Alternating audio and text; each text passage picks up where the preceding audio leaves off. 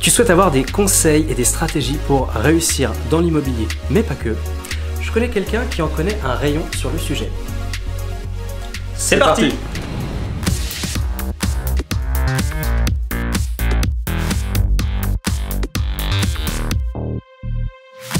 Bonjour les amis, j'espère que vous allez bien et donc aujourd'hui vous l'avez compris je vous présente David Laillé, coach, euh, conférencier, je vais y arriver, hein, et euh, auteur également. Absolument. Donc coach, conférencier, auteur. Et pourquoi je voulais vous présenter David? Eh bien tout simplement parce que c'est David qui m'a coaché euh, il y a à peu près un an Mhm. lorsque j'ai voulu euh, av- avancer, faire évoluer l'entreprise.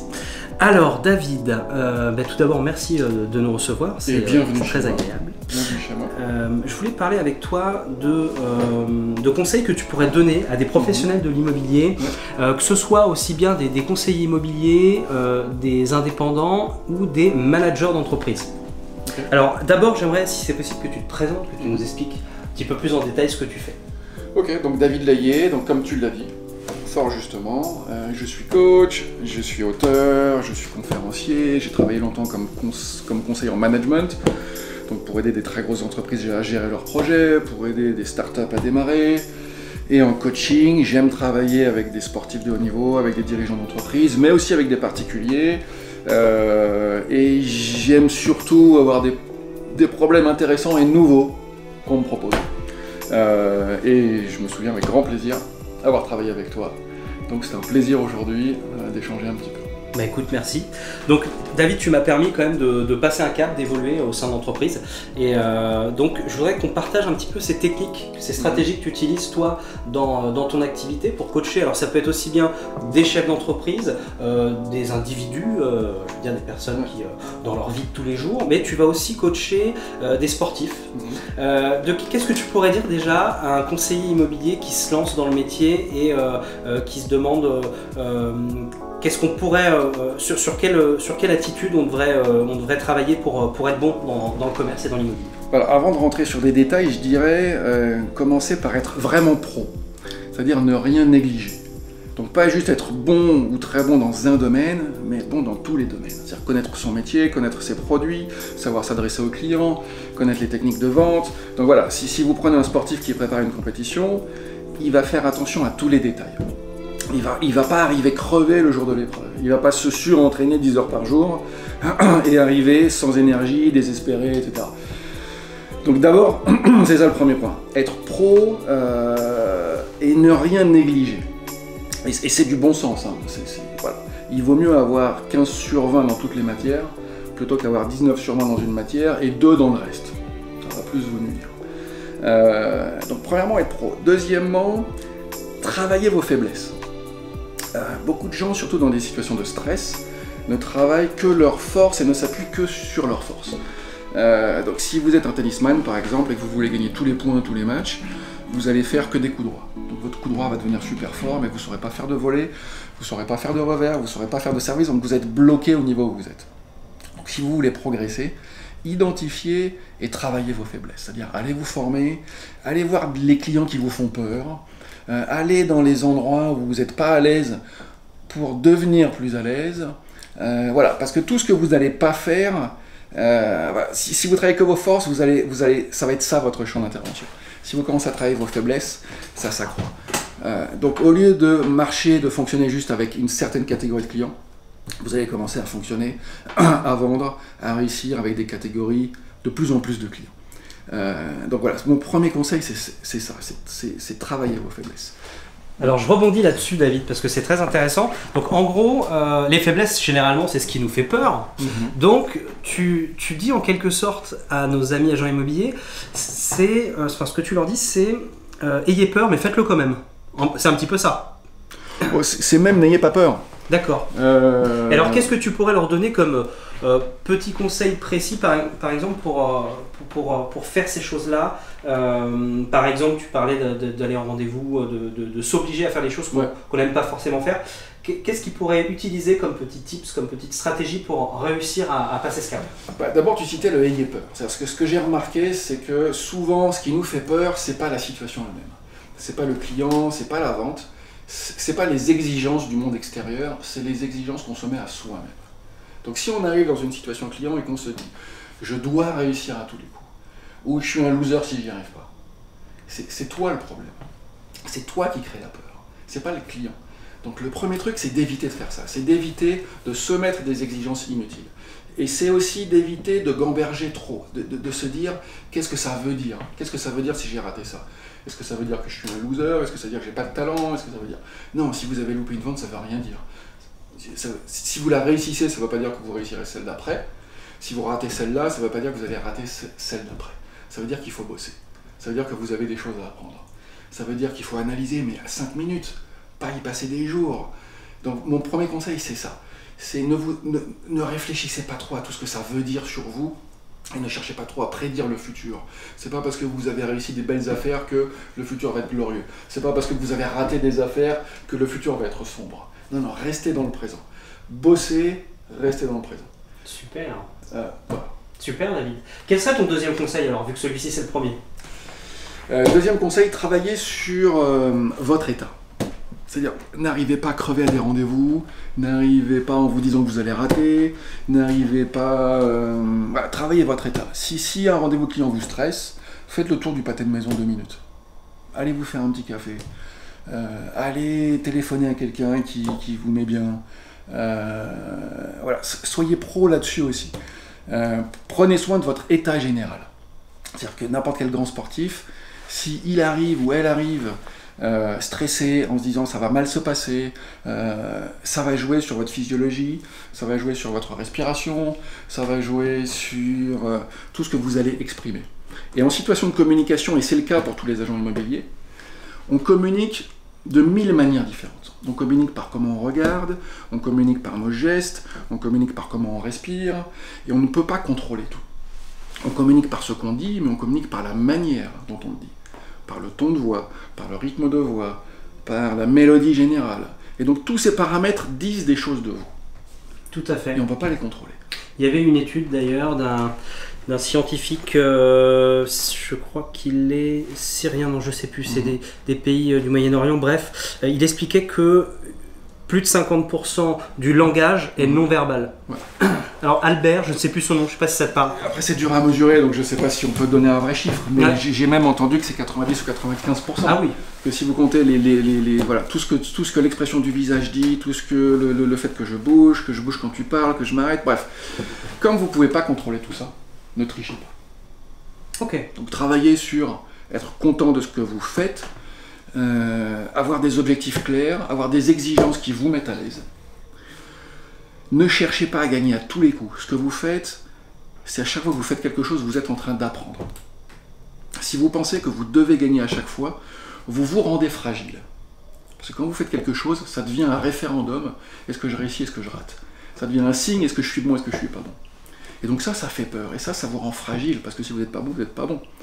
Si vous vous dites, je suis en train d'apprendre des choses, à chaque fois que vous ratez, vous apprenez plus. Ça, ça vous rend fort. Chaque fois que vous essayez quelque chose, si ça ne marche pas, vous avez appris quelque chose. Et si ça marche, vous avez appris quelque chose d'encore mieux. Donc mettez-vous dans un état d'esprit où, quel que soit ce que vous faites, vous gagnez.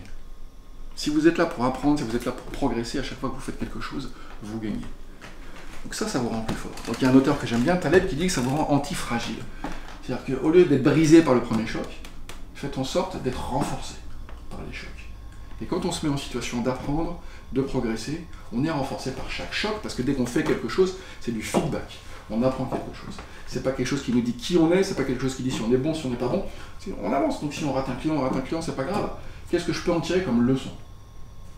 Pourquoi ça a raté? Est-ce que j'ai mal préparé? Est-ce que je me suis mal exprimé? Est-ce que j'ai loupé des signes de, ce que disait la personne, des objections par exemple. Parce que la personne avait des objections, ça se voyait si j'avais fait attention. Dans la façon de froncer les sourcils, dans, les hésitations, dans le temps un peu lent à répondre. Est-ce que là j'aurais dû dire, euh, est-ce, chose, est-ce que vous voulez plus d'informations? Est-ce, que je peux vous aider à comprendre mieux quelque chose? Voilà. Donc là vous tirez des leçons, vous dites qu'est-ce que j'ai manqué, qu'est-ce que je pourrais faire mieux? Euh, et là vous progressez. Et donc là, rater une vente, ben, c'est juste la vie et ça vous rend meilleur voilà, mon conseil c'est ça. Soyez dans le présent, soyez dans ce que vous faites, tirez des leçons de ce qui n'a pas marché, Euh, n'en faites pas une montagne non plus, parce que si on en fait une montagne, on met des émotions, et au lieu d'être dans ce qu'on fait, on est dans oh là là, j'ai mal au ventre, euh, on a des images parasites qui nous viennent, on se parle à soi-même en disant oh, t'es nul, t'es nul, t'es nul. Mais si vous faites ça, vous avez quoi? 90% de votre attention qui est occupée dans vos images internes, dans votre dialogue interne qui vous critique, dans vos émotions, et vous sentez, vous dites, oh là, si je rate cette vente-là, euh, là, je vais rater la prochaine, et je vais là. Et vous n'êtes pas dans ce que vous faites. Si vous n'êtes pas dans ce que vous faites, vous ne pouvez pas être bon. Super, David. Alors, ce que je te propose, c'est qu'avant de euh, présenter tes, deux bouquins, dont un qui vient de sortir récemment, tu nous donnes un troisième et dernier conseil. Mhm. Allez, à toi de jouer. Euh, dernier conseil, aimez ce que vous faites pas au sens de ça doit être bi, ça, ça, doit être le, le, un chemin de rose tout le temps, mais au sens où vous devez sentir que vous êtes au bon endroit. C'est-à-dire que pour bosser, quel que soit ce qu'on fait, et, et dans l'immobilier c'est dur, comme dans tous les métiers commerciaux, parce que ça marche pas à chaque fois, parce que il faut se mobiliser, parce que nos clients ils sont pas là pour nous faire plaisir et nous dire qu'on est gentil et qu'on est bon, et s'ils nous disent non, et eh ben c'est à nous de gérer ça. Euh, donc c'est vrai pour ces, mais c'est vrai pour tout. Euh, le processus est extrêmement important. Il euh, n'y a aucun, aucune personne qui fait de l'escalade, par exemple, va vous dire ça valait le coup de monter cette paroi parce qu'en haut c'est bien.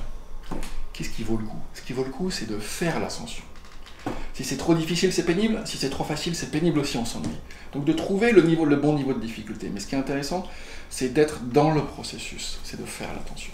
Et pour être bien dans le processus, il faut que ça soit satisfaisant. Moi, quand je suis passé par exemple freelance, là, presque 20 ans, j'ai tout de suite senti que j'étais dans mon truc à moi. C'est-à-dire que j'allais, j'allais jamais redevenir salarié. J'allais rester freelance, j'allais rester à mon compte, j'allais peut-être créer des boîtes. Et qu'il y aurait des choses qui allaient changer. Je pouvais gagner plus d'argent, je pouvais mieux gérer ça. Ça ne veut pas dire que c'est parfait. Mais ça veut dire que je savais que j'étais là où je voulais être. Faites attention à ça. Si vous sentez que vous n'êtes pas là où vous voulez être, réfléchissez tout de suite à qu'est-ce qu'il faut changer, qu'est-ce qu'il faut adapter. Parce que je pense vraiment, s'il n'y a pas des signes tout de suite qu'on est au bon endroit, qu'on est dans le bon processus,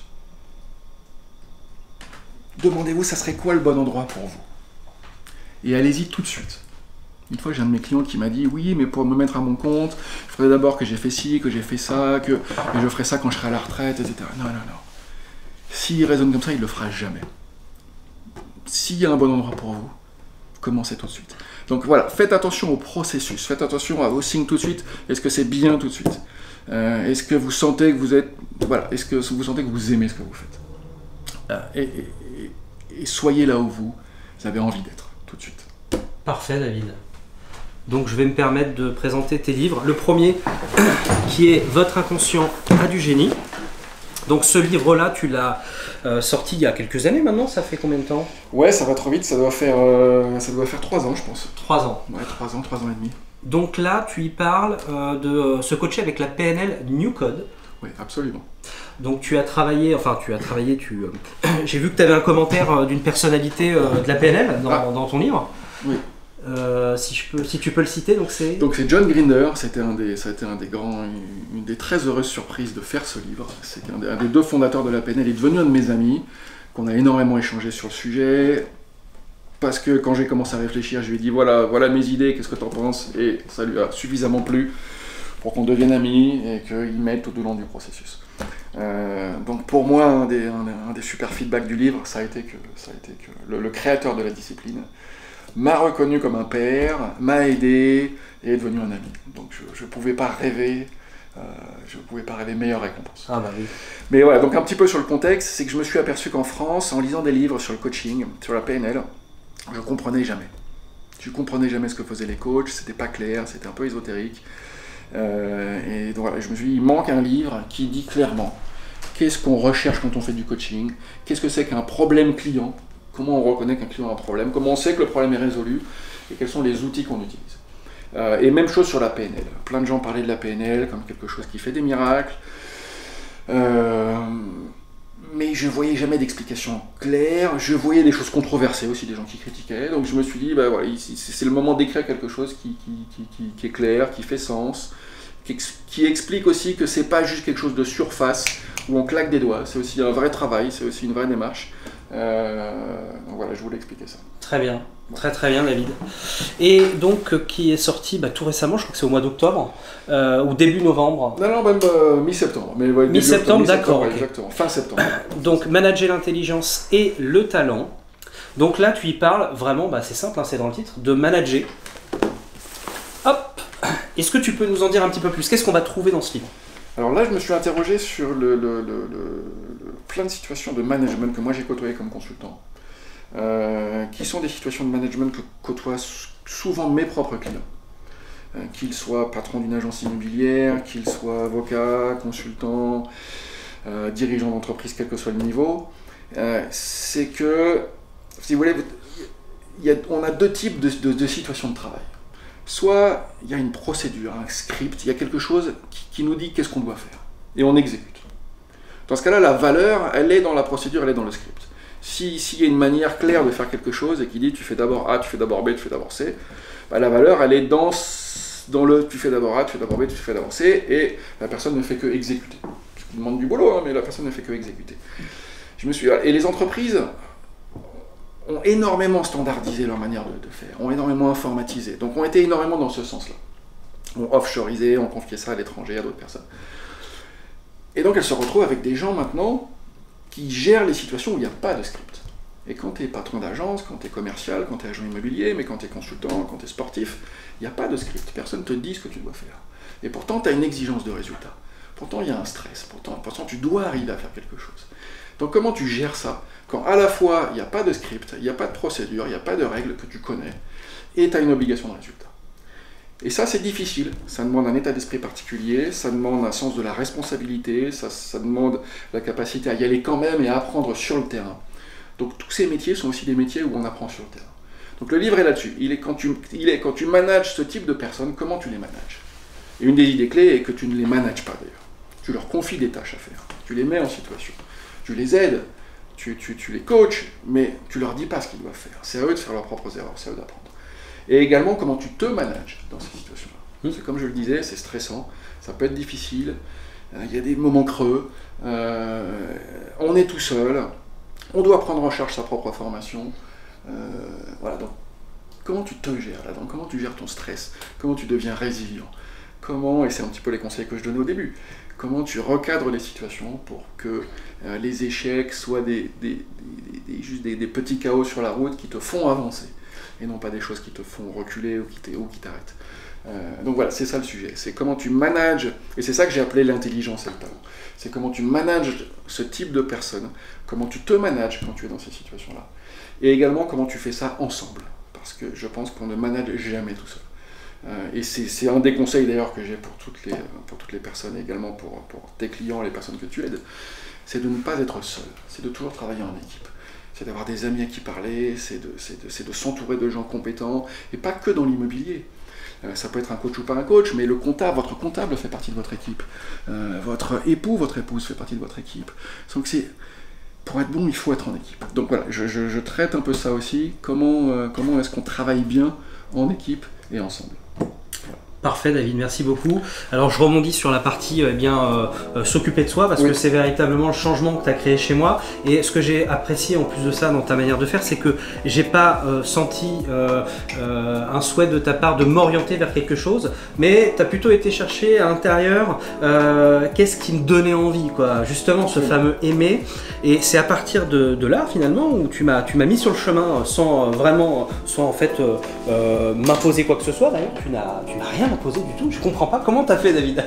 Et, donc, euh, ça m'a permis effectivement eh bien, d'affronter mes peurs, euh, d'aller euh, d'échec en échec tout en gardant la même jovialité.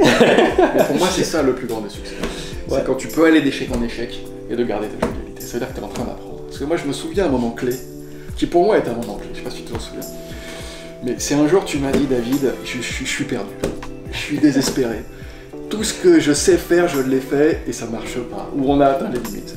Et je sais plus quoi faire. Et je t'ai répondu quelque chose du genre, euh, enfin.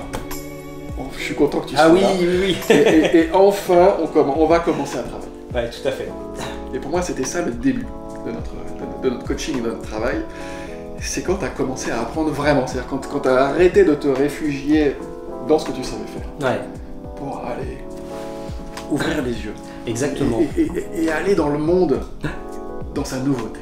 C'est ce côté ouverture justement euh, euh, que j'ai, euh, enfin sur lequel aussi j'ai beaucoup parlé lors de, Master Imo. Donc c'est un séminaire où il y avait à peu près une centaine d'agents immobiliers. J'ai fait euh, 45 minutes de, conférence et, j'ai parlé de ce côté-là de, croyance parce que finalement en fait euh, tu m'as permis de, casser un petit peu ce, plafond de verre euh, qui, était, euh, fabriqué à partir de mes, euh, échecs. Et donc voilà, donc ça j'ai vraiment beaucoup apprécié ça. Euh, David, Merci beaucoup en tout cas pour, euh, pour tout ce que tu as fait. Merci beaucoup d'accepter eh bien d'être interviewé aujourd'hui euh, sur ces sujets-là. Merci de m'avoir invité. Je recommande donc ce livre, Manager l'intelligence et le talent de David Vallier. Donc un livre qui peut servir pour les responsables d'agence, mais aussi on a de plus en plus de mandataires euh, qui développent des, des réseaux avec le marketing, euh, euh, le marketing de réseau. Donc vous pouvez utiliser ce livre pour passer à un niveau supérieur en complément de cette, in- de cette interview pleine d'instructions et de super conseils. Merci beaucoup David, je te souhaite une bonne journée. Avec grand plaisir, Cédric. À bientôt. À bientôt. Ciao, bye bye